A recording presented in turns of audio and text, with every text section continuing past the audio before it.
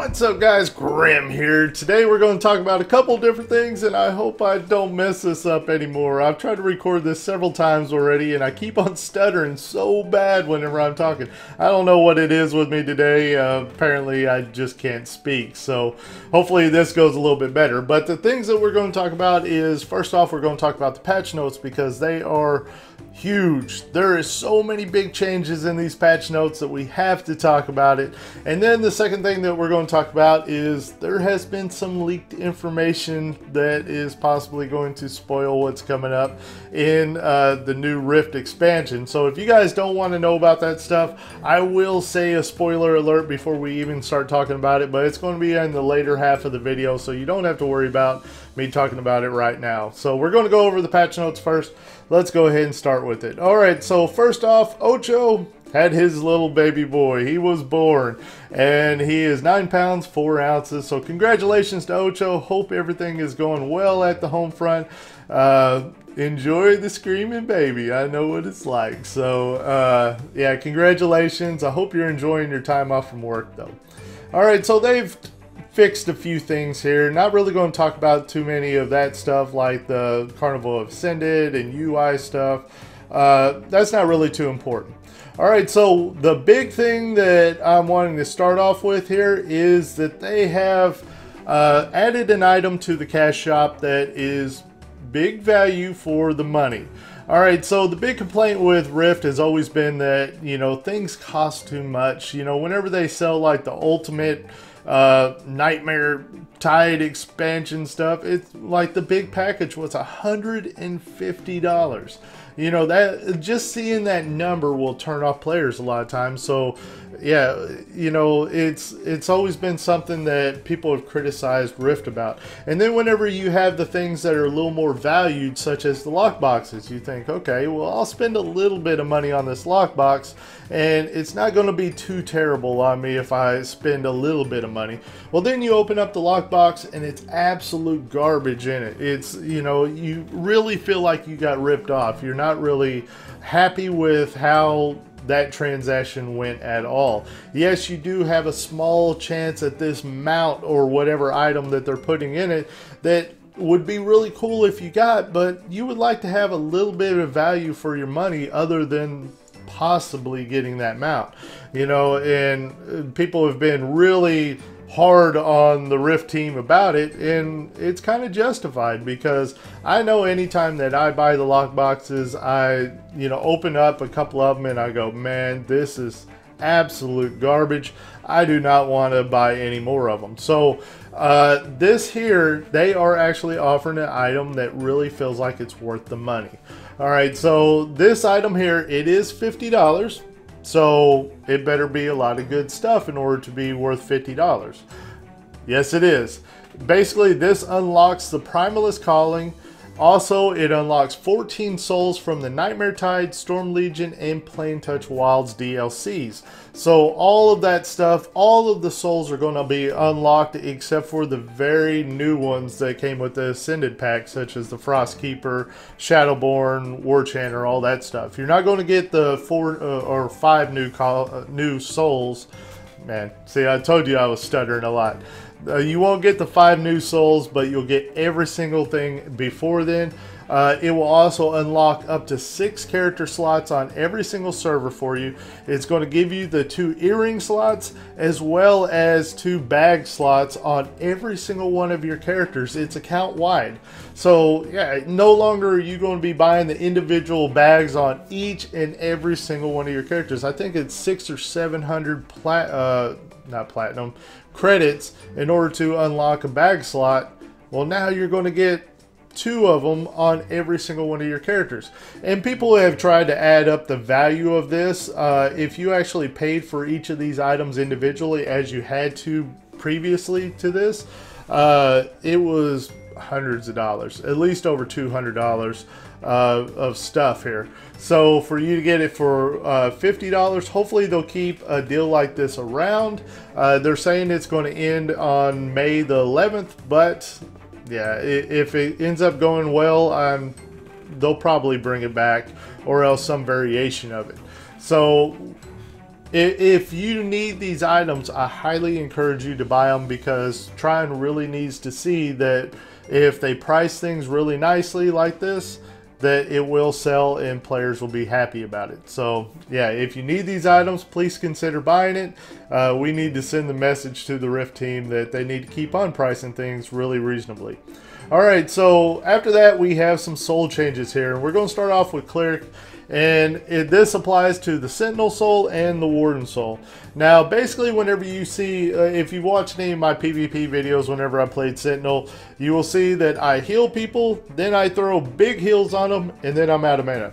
And I'm not healing anybody anymore because I have to cast an ability that is a channeled ability to try to get my mana back. So while I'm generating my mana back, my allies are getting killed around me because I can't heal them while I'm out of mana and having to channel this ability. Well, they've changed it to where now whenever you use this ability, it will actually make you gain mana back as you're healing for 10 seconds. So a huge, huge change here. That is crazy. So uh, if you're using, uh, let's see, Sentinel Healing uh, restores 15% of your mana for this 10 seconds.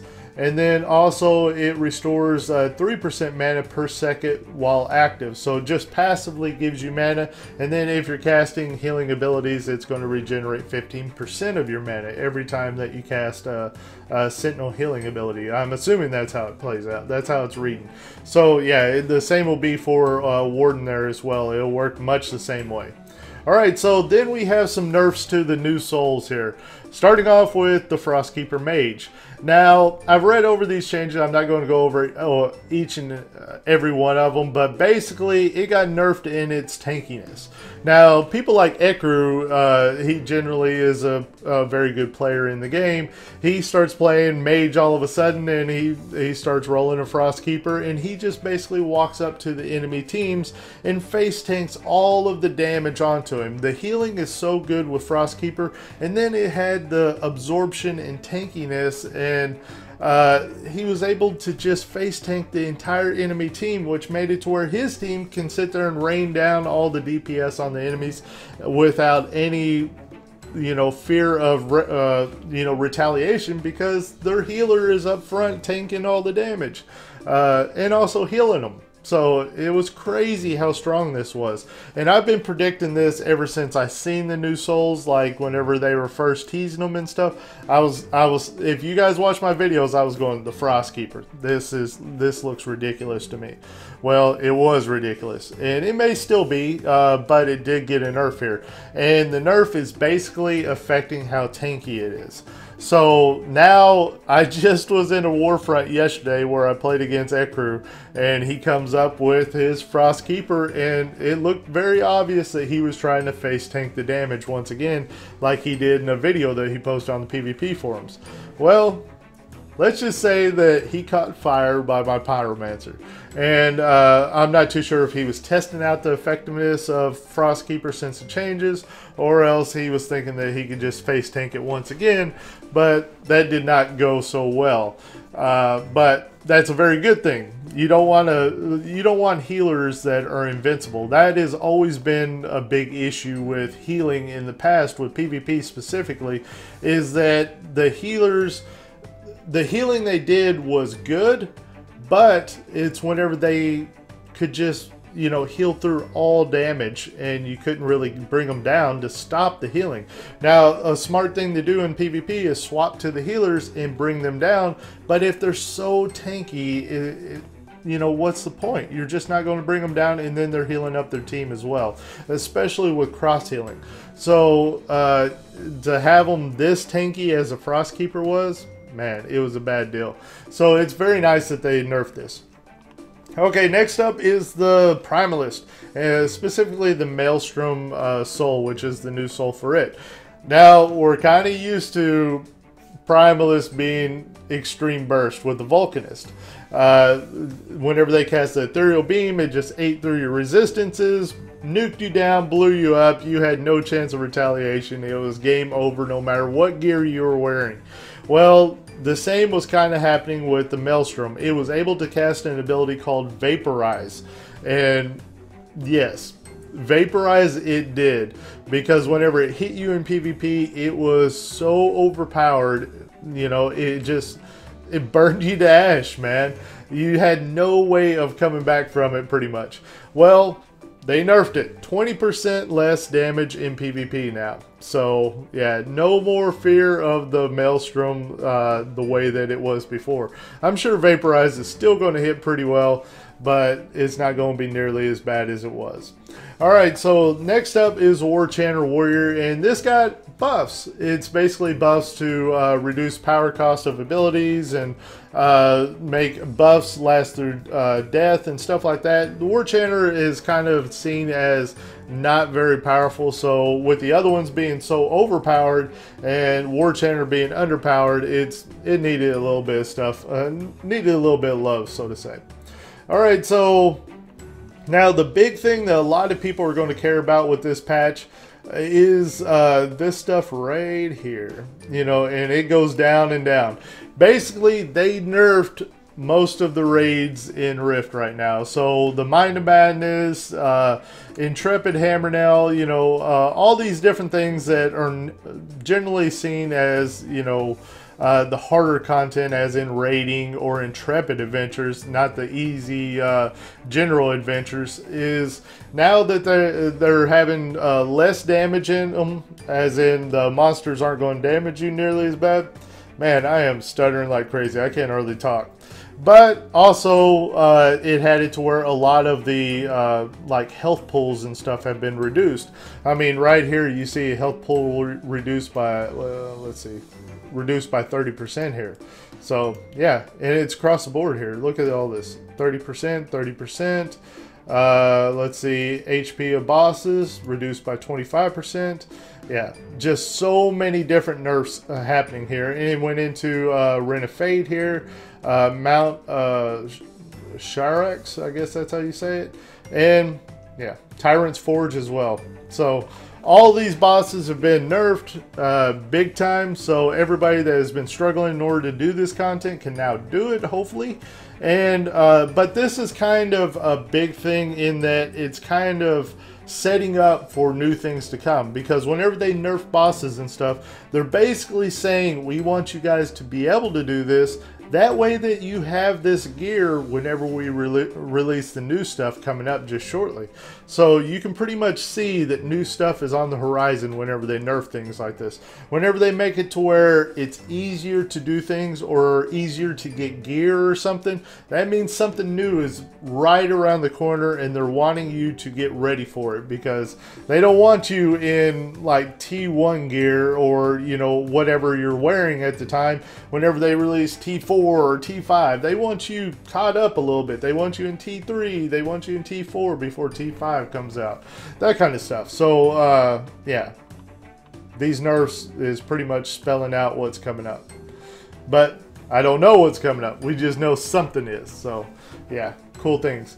All right, so uh, this is where we're going to talk about the new leaked information here. So if you guys don't want to have anything leaked to you at all, as in the the new expansion and stuff for Rift, uh, it's not like big time leaks. It's not like uh, we're finding out like the definitive answer to what's coming up and all that. It's kind of a lot of guessing. Uh, so it's not it's not like you know major spoilers or anything like that. It, it's kind of we see names to things and then we're going to uh, assume what they mean. So all right, so this is the point that we're going to talk about it. So if you don't want to see it, click off the video now. All right, so uh, Crit Happens on the forums just recently posted this. And it's talking about on the Rift's Magelo list of zones, it's now showing four new entries. Uh, one is called the uh, Gedlionium Badlands or something like that. Then TOA Test Map 3, and then you have Ten Brian uh, Hellscape as well as the Xerathas Meyer. Man, these things are hard to say. But especially today, whenever I can't hardly speak at all. So, uh, but basically, these are kind of. Uh, it's a guessing game now. They kind of wonder what's going on with it. Uh, he spells out right here with the Badlands. It it seems to be referring to a place that is the homeland of the Gedlo. Uh, for those who don't know or can't remember, the Gedlo were the tribe of goblins holed up in the darkening deeps in Gloamwood and came to Telara, Telara from the plane of fire as servants of Maelforge. So, yeah, right off the bat, that's pretty much a reference to the plane of fire. So, yeah, and then whenever you look at just even the name like Hellscape, like the next one, kind of makes you think of fire. So uh, this one is kind of abbreviated. We're speculating uh, the being is uh, kind of look. Uh, he says it looks like a joke, a joke at first, but then he realized that Tenbian is actually Tenebrian. So if you guys follow any of the storyline, you know about the whole Tenebrian things with the Lady uh, Glacia and all that. I know I know it specifically from the Chronicles. Whenever I did Chronicles, I seen the storyline spelling out there, but uh, I didn't do all the raids or any of that. So I'm not too I'm not real familiar with all of the storyline just yet. Uh, he says so. The zone name is actually Tenebrian. Hellscape, we already know that the Tenebrians had involvement with the Plane of Fire due to their interactions with Lady Glacia. So there you go. Uh, let's see, what else does he say? He says uh, the te uh, test map 3. Okay, it's a test map, but what is TOA? Um, uh, is that an internal code name for something? An expansion perhaps?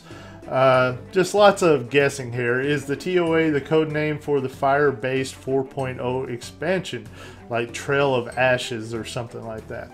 He's he's mainly speculating, but uh, I, I, would like to know what you guys think about this. Do you uh, are you guys more familiar with the lore and uh, know more than he does on here, and can basically spell out what you think that these uh, names are. I mean, everything seems to be pointing at the plane of fire, which I'm hoping is like going to be so much cool stuff. Because usually, whenever like uh, take for instance in World of Warcraft, whenever they released Cataclysm, you know, here you had a big flaming drag dragon and all this stuff, and the whole lands were like volcanic and stuff, and it was just so cool of an expansion to me.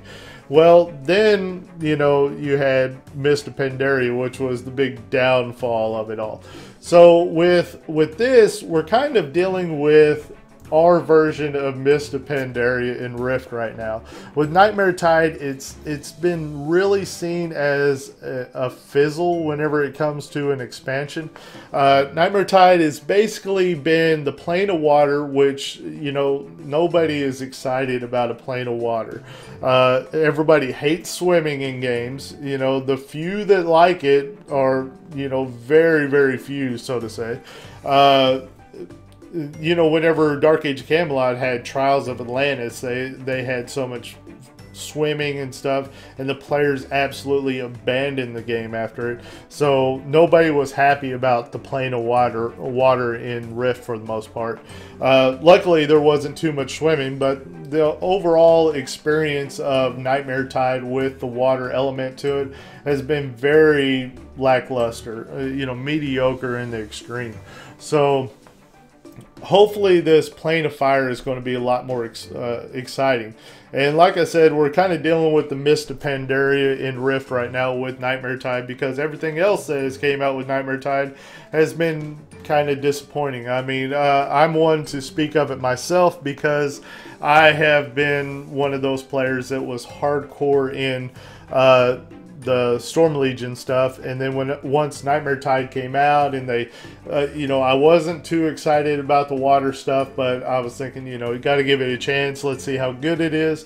But then with all the bad PvP changes and everything else. You know, I mean, they completely killed PvP for the most part. Uh, Conquest has been really bad now. I mean, just so many things have been bad about this expansion. I'm really hoping so many cool, exciting, you know, good changes are going to be coming up. I mean, here you have a good cash up item that gives value. Now we're having leak stuff that is going to possibly be very exciting uh, stuff on the horizon. Well, I hope you guys enjoyed this video. If you did, make sure to punch that like button. As usual, my name is Grim, and I'll see you next time.